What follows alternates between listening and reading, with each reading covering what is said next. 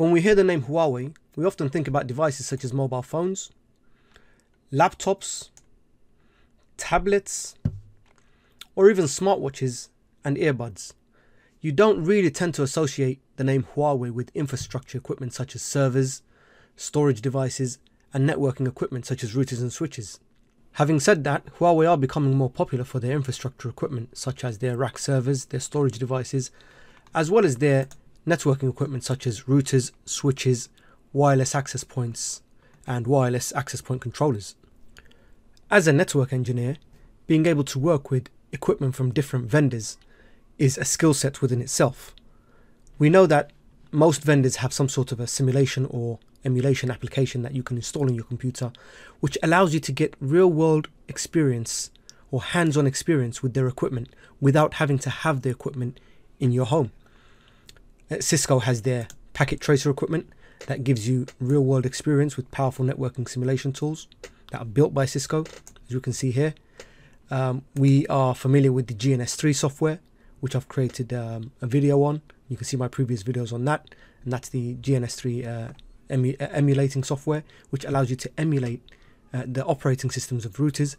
And Huawei are no different. Huawei also have something called the Enterprise Networking Simulation Platform, or ENSP for short, which, just like Packet Tracer, is a simulator and allows you to simulate the routers and switches, access points, and so forth.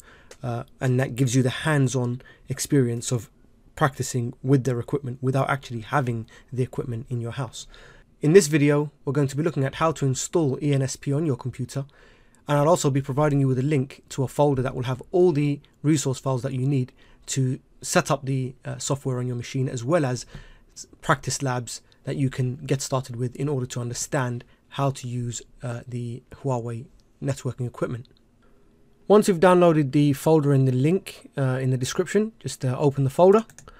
And what you'll see in there is a number of files. At the top it's just the installation guide for the ENSP software. You can have a look at that. And then you've got the ENSP software itself and then what you've got below that is the entry lab guide which is a PDF PDF file that you can use once you've installed your software you can use this guide to do the entire uh, associate level course uh, and if I just show the Huawei certification paths what you'll see is uh, that they have a similar model to uh, Cisco. So they've got the HCNA, Huawei Certified Network Associate. Then they've got the professional level, then the expert level, and then uh, as opposed to Cisco, they've got one extra level, which is the architect level. Now, if you want to pursue uh, the certifications, then this is something that you probably will need to explore. Let me just close this. So this guide is the entire entry lab, uh, entry level, the associate level course, and you can follow this step-by-step -step guide uh, in in completing the uh, entry level uh, certification.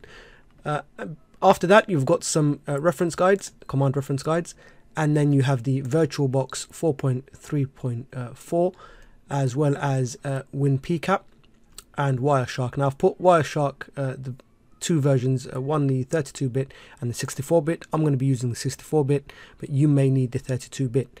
Um, the reason I've got an old version of uh, VirtualBox is because the simulator only works with an older version. I've downloaded 4.3. Uh, I'm going to install this because I don't have this installed on my machine. I've got Wireshark already installed and I've got uh, WinPCAP already installed. So I'm just going to install VirtualBox.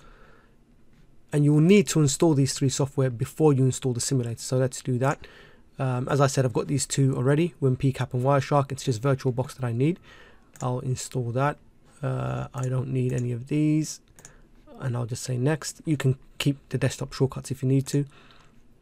Say yes. Install. Give it the permissions. And then just let that do its thing. Let's say install uh, I'm not going to start the virtual machine uh, Oracle VM uh, sorry Oracle uh, VM VirtualBox I'm just going to leave that press finish now I've got all three software installed. Now I can start the setup of my ENSP uh, software. So let's double click on that. Again, I should be prompted for permissions. Say yes.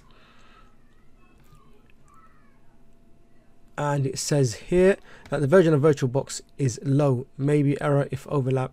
It may install new version of VirtualBox. You should uninstall it firstly install it now so okay I might need to download version 5 instead of 4 so let's just say yes it may it may offer me to uh, install it yep let's uninstall it so that version is of no use. As I said you have to get the right version of VirtualBox. So let's say next. It may offer the uh, it may prompt me to install it from within the software. So let's say next to that. Say next. Uh, leave it the default. So I'll keep a desktop icon. And here it says ah VirtualBox has not been installed on your machine. So let me just download the latest version and I'll actually update this folder. And what I'll do is remove this one from the folder actually for now I'll get the uh, later version which is 5.2 as it says here and then I'll come back and we'll uh, install that version. Okay so I've downloaded the uh, version 5.2 of VirtualBox. So I'm just going to cancel this installation for now. Let me just say cancel. And I'll install version 5.2 of VirtualBox first. Let's run that. Same process again. Keep all the defaults if you want to. I'm just going to remove uh, that and say next. Install. Give it the permissions. And there we go. So it's completed. I'm not going to launch it. Say finish. Now I go back to my ENSP setup. So this is why it's important to have these files installed before you run the setup file. Say yes. It should now detect the right version. So let's say next. I accept the license agreement. Next keep the defaults. Yep that's all good. Say install. And we'll just let that complete and come back to it. Okay so that's all done. Uh, I'm not going to launch the uh, update log. I'm just going to launch the software itself. We'll say finish. And that should open up the ENSP software and here it says please add uh, ENSP related applications to the list of Windows firewalls allowed programs and allow them to run on a public network. Okay so I'll leave that for now but that's just your firewall settings. What you can do is if you go to your control panel you can turn off your firewall at home. Firewall uh, let's see. So mine is on. You can turn it off or you can say for example if I just want to turn it off I can do that obviously in a work environment you wouldn't do that but just for the purposes of our lab we'll just turn off the firewall and that should allow um, the ENSP software to function correctly. Um, that's just the quick fix. We can actually go into it and allow the software to be permitted but I'm not going to do that for now for the purpose of this lab. Um, yeah so there you go. You are now in the simulator and this is it. So you can then create a, a new topology uh, new project and so forth. So if I click on uh, new, new topology that will give me a blank workspace and I can then create a new uh, network topology.